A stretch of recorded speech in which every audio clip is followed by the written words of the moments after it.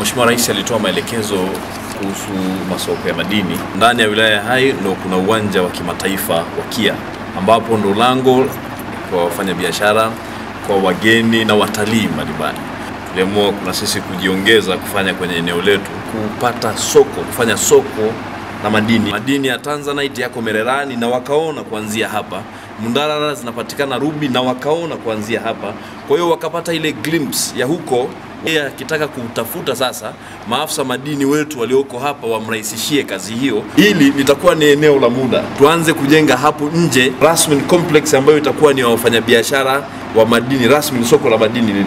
Lakini zile siku saba Mheshimiwa Rais alizotoa kule, na zisi siku saba tu tumeshaanzisha soko la madini hapa, ambalo hilo mimi nitalisimamia mwenyewe usiku na mchana kwenye ngazi ya wilaya hii, management ya Kadiko.